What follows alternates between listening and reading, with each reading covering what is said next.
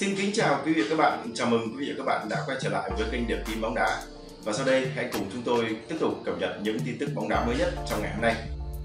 Trong phần cập nhật tin tức bóng đá trưa ngày hôm nay, kính mời quý vị và các bạn đến với những tin tức chính sau đây. Trò cưng báo tin mừng cho thầy Park, cựu tiền vệ đội tuyển Việt Nam qua đời đột ngột. Báo Hàn Quốc ngạc nhiên về mức lương khủng của huấn luyện viên Park Hang-seo. Mời quý vị và các bạn cùng đón nghe. Trò cưng báo tin mừng cho huấn luyện viên Park Hang-seo. Một học trò cưng của huấn luyện viên Park Hang-seo mới đây đã báo tin vui cho ông thầy người Hàn Quốc và đội tuyển Việt Nam khi chấn thương có chuyển biến tích cực. Trung vệ Đỗ Duy Mạnh đang trong quá trình hồi phục sau phẫu thuật tái tạo dây chằng chéo trước tại phòng vật lý trị liệu PVF. Trung vệ thép của Hà Nội FC báo tin vui cho huấn luyện viên Park Hang-seo và đội tuyển Việt Nam khi chấn thương có những chuyển biến tích cực.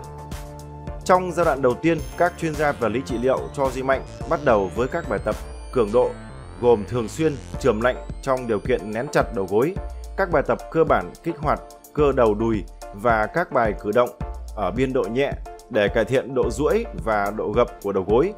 Trải qua các bài tập học lại tư thế di chuyển, Duy Mạnh đã lấy lại được dáng đi và có thể tự tin bỏ nặng hoàn toàn. Sau đó Duy Mạnh bước vào chương trình tập luyện tăng cường sức mạnh cơ bắp, khả năng thăng bằng và phối hợp vận động cơ bản. Các chuyên gia của trung tâm PBF đã lựa chọn các bài tập sử dụng trọng lượng cơ thể ở mức dễ ở giai đoạn đầu, sau đó tăng dần lên chế độ tập gym với tổ hợp các bài tập kháng lực, thăng bằng và phối hợp vận động. Ngoài ra, học trò cưng của huấn luyện viên Park Hang-seo cũng đã bắt đầu chương trình tập luyện thể lực không tác động như đạp xe, bơi lội và đi bộ. Cho tới thời điểm này, Duy Mạnh vẫn đang tiếp tục tiến bộ từng ngày. Duy Mạnh từng gặp chấn thương trong trận siêu cúp quốc gia 2020 giữa Hà Nội và câu lạc bộ Thành phố Hồ Chí Minh. Anh buộc phải thực hiện phẫu thuật tại Singapore và chuyển đến trung tâm PVF để điều trị hồi phục. Trung vệ sinh năm 1996 sẽ bỏ lỡ hai giải đấu rất quan trọng của đội tuyển Việt Nam vào cuối năm là AFF Cup 2020 và vòng loại thứ hai World Cup 2022. Dự kiến Duy Mạnh sẽ trở lại sân cỏ vào tháng 1 năm 2021. Nếu đội tuyển Việt Nam đi tiếp thì trung vệ này có thể thi đấu ở vòng loại cuối cùng. Trong khi đó thì tiền đạo của đội tuyển Việt Nam là Hà Minh Tuấn đã bình phục chấn thương và sẵn sàng trở lại V-League 2020. Quý vị và các bạn thân mến, vào ngày 15 tháng 5, cầu thủ Hà Minh Tuấn của câu lạc bộ Quảng Nam đã hoàn thành chương trình tập vật lý trị liệu hồi phục tại trung tâm PVF nhằm tăng cường cơ bắp ở chi dưới, cải thiện khả năng thăng bằng của cơ thể và độ linh hoạt của cổ chân. Hà Minh Tuấn hiện tại đã có thể tham gia vào tất cả các hoạt động tập luyện bóng đá, truyền sút, đối kháng hay bật nhảy. Tiền đạo đội tuyển Việt Nam được cung cấp một chương trình cần phải theo trước khi quay lại tập luyện toàn bộ với đội để phòng tránh chấn thương và tiếp tục quá trình tái thích nghi chuyên biệt dành riêng cho cầu thủ này. Hà Minh Tuấn đã gặp chấn thương về sụn chêm vào đầu tháng 3 năm 2020 và được đưa tới trung tâm PVF để được chữa trị. Trước đó thì tiền đạo sinh năm 1991 cũng gặp vấn đề về cơ đùi nên đã phải bỏ lỡ trận gặp Thái Lan vào tháng 9 năm 2019. Trong năm 2019, Hà Minh Tuấn đã được huấn luyện viên Park Hang-seo gọi lên đội tuyển Việt Nam ở 3 lần tập trung cho vòng loại World Cup 2022 Chân sút của Quảng Nam đã bị loại ở hai lần đầu tiên do chấn thương và trụ lại ở đợt tập trung tháng 11 năm 2019. Hà Minh Tuấn chưa được huấn luyện viên Park Hang-seo trao cơ hội vào sân thi đấu. Tuy nhiên, vị chiến lược gia người Hàn Quốc vẫn đánh giá rất cao tài năng và đã quy hoạch chân sút Quảng Nam trở thành người thay thế anh Đức. Nếu sớm lấy lại được phong độ ở V-League 2020, Minh Tuấn có khả năng sẽ trở lại thành mắt xích quan trọng trong sơ đồ của huấn luyện viên Park Hang-seo tại vòng loại World Cup 2022 hay AFF Cup 2020 sẽ diễn ra vào cuối năm nay. Cựu tiền vệ đội tuyển Việt Nam qua đời đột ngột. Cựu tiền vệ của đội tuyển Việt Nam và câu lạc bộ Đồng Tâm Long An đã đột ngột qua đời ở tuổi 36 trước sự bất ngờ của nhiều người. Quý vị và các bạn thân mến, sáng ngày 20 tháng 5, cựu tiền đạo Lê Minh Mính cho biết là cầu thủ đồng hương Phan Quý Hoàng Lâm đã qua đời. Cựu cầu thủ này tiết lộ lý do Hoàng Lâm qua đời là vì đột quỵ do tắm đêm. Sự ra đi của Phan Quý Hoàng Lâm khiến cho các đồng đội năm xưa tại câu lạc bộ Đồng Tâm Long An cùng bạn bè người thân của cầu thủ này hết sức bất ngờ và thương tiếc. Hoàng Lâm được phát hiện bởi cựu huấn luyện viên Aziham Song Gam Suk khi anh tham gia giải đấu phong trào. Hoàng Lâm từng cùng Bình Định giành chức vô địch U21 quốc gia năm 2004, huy chương đồng V-League 2006. Chỉ cao 1m60 nhưng Hoàng Lâm xử lý bóng đầy lát léo, kỹ thuật, dứt điểm nhạy bén cùng khả năng sút phạt siêu hạng Với các chân trái rất khéo, Hoàng Lâm đã được huấn luyện viên Henrique Calisto gọi lên đội tuyển quốc gia trong quá trình chuẩn bị cho AFF Cup 2008 nhưng không lọt vào danh sách cuối cùng. Sau khi Đồng Tâm Long An xuống hạng thì Phan Quý Hoàng Lâm đã trở lại chơi bóng cho Bình Định nhưng không ghi được nhiều dấu ấn. Báo Hàn Quốc ngạc nhiên về mức lương khủng của huấn luyện viên Park Hang-seo. Tờ Chosun của Hàn Quốc đã bất ngờ khi huấn luyện viên Park Hang-seo trở thành huấn luyện viên nhận lương cao nhất lịch sử đội tuyển Việt Nam.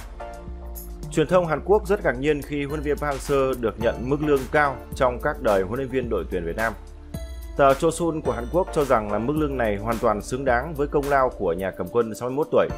Họ viết, bản hợp đồng mới đưa ông Park Hang-seo trở thành huấn luyện viên nhận lương cao nhất trong lịch sử các thời kỳ đội tuyển Việt Nam với 50.000 USD một tháng, khoảng 61 triệu won và lên tới 732 triệu won một năm. Khá bất ngờ khi lương của ông Park Hang-seo gấp đôi người xếp thứ hai là huấn luyện viên Calisto Vị huấn luyện viên người Bồ Đào Nha này từng được trả 25.000 USD một tháng, tức là 30,8 triệu won. Ông Park được trả lương cao nhờ thành tích ấn tượng khi dẫn dắt bóng đá Việt Nam vượt ra khỏi khu vực Đông Nam Á. Đầu tháng 11 năm 2019, huấn luyện viên Park Hang-seo đã đặt bút ký vào bản hợp đồng có thời hạn 3 năm với Liên đoàn bóng đá Việt Nam. Mức lương mà vị chiến lược gia người Hàn Quốc nhận là vào khoảng 50.000 USD một tháng sau thuế cùng nhiều quyền lợi cực kỳ hấp dẫn khác. Lương của huấn luyện viên Park Hang-seo được VFF trả từ 100% nguồn xã hội hóa. Mức thù lao mới hoàn toàn xứng đáng với những cống hiến của vị chiến lược gia người Hàn Quốc cho bóng đá Việt Nam trong suốt 2 năm qua. Một số thành tích nổi bật của huấn luyện viên Park Hang-seo khi làm việc tại Việt Nam như Á quân U23 châu Á 2018, Top 4 ASEAN 2018, vô địch AFF Cup 2018, Top 8 Asian Cup 2019, Á quân Kings Cup 2019 và đặc biệt là tấm huy chương vàng SEA Games 2019. VFF chọn chuyên gia Nhật xây nền cho thể Bắc, coi chừng sai. VFF đã bắt tay vào tìm kiếm người ngồi cho chiếc ghế giám đốc kỹ thuật nhằm tiếp tục xây dựng kế hoạch kế hoạch để nâng tầm cho bóng đá Việt Nam sau thông báo hợp đồng với chuyên gia người Đức GD sẽ kết thúc vào tháng 6 tới đây. Mong muốn về tân của giám đốc kỹ thuật của VFF đương nhiên là không có gì mới khi yêu cầu cần xây dựng cho bóng đá Việt Nam một kế hoạch phát triển dài hơi, đồng thời tham gia vào công tác hỗ trợ nâng cao chất lượng đào tạo bóng đá trẻ của các câu lạc bộ, đặc biệt là công tác đào tạo lực lượng huấn luyện viên bóng đá trẻ. Vì yêu cầu này và với những mối quan hệ của mình, VFF đã rất nhanh có được các ứng viên thay thế được cho là tốt nhất cho ông GD khi mới đây tiết lộ người có thể ngồi vào ghế kiến trúc sư của bóng đá Việt Nam là chuyên gia Yusuke Adachi, người Nhật Bản. Hồ sơ của ông Yusuke Adachi rõ ràng không có vấn đề gì đáng kể khi từng là giảng viên cấp cao của AFC, đồng thời cũng tạo được mối quan hệ khá mật thiết đối với bóng đá Việt Nam trong vài năm trở lại đây. Còn về năng lực cũng như đề án để nâng tầm phát triển bóng đá Việt Nam ra sao thì xem ra còn phải chờ đến khi chuyên gia người Nhật Bản chính thức ngồi vào ghế nóng và bắt tay vào việc. Tuy nhiên khả năng thành công không quá cao bởi nếu chiếu theo yêu cầu từ VFF cho tới tình hình thực tế thì rõ ràng là khác nhau một trời một vực khi cho đến lúc này cả nền bóng đá nói chung hay đào tạo trẻ nói riêng của Việt Nam chưa đi chung đường. Và để tạo ra một nền bóng đá có bản sắc, tư duy chơi bóng cho tới những vấn đề về chuyên môn đồng nhất ở cấp độ trẻ, rõ ràng rất khó hoàn thành nếu chỉ ký hợp đồng với thời hạn từ 2 đến 3 năm như trước đây. Về nguyên tắc, huấn luyện viên trưởng đội tuyển quốc gia và giám đốc kỹ thuật của cả nền bóng đá thường hiếm khi va chạm với nhau bởi công việc mỗi người mỗi khác. Nhưng thực tế thì ngược lại, cả hai có mối quan hệ và liên hệ rất mật thiết nếu cùng đi trên con đường xây dựng và phát triển một nền bóng đá. Và thực tế VFF cho tới huấn luyện viên Park Hang-seo đều đang hướng đến việc đưa bóng đá Việt Nam dự World Cup trong thời gian gần để rõ ràng kế hoạch đào tạo phát triển bóng đá trẻ mà giám đốc kỹ thuật đưa ra không hề xa xôi cho lắm. Nhưng liệu rằng thầy Park hay người mà VFF nhắm đến cho chiếc ghế giám đốc kỹ thuật là ông Yusuke Adachi có thể ngồi lại vì cái chung này hay không lại là một câu chuyện khác bởi dường như triết lý bóng đá của Hàn Quốc và Nhật Bản không đồng nhất với nhau. Nói rõ hơn, vào lúc này thuyền trưởng của đội tuyển Việt Nam đang xây dựng cho bóng đá Việt Nam thành công dựa trên những nền tảng cũ. Trong khi công việc của chuyên gia Yusuke Adachi lại bắt đầu với những viên gạch mới, nên không tránh khỏi những lo ngại cho sự lựa chọn này từ VFF. Đấy chưa kể là câu chuyện nhạy cảm giữa người Nhật và Hàn Quốc để bảo cả hai cùng nắm tay đưa bóng đá Việt Nam phát triển e là không dễ dàng đâu. Cảm ơn quý vị các bạn đã quan tâm lắng nghe và theo dõi kênh Điểm tin bóng đá.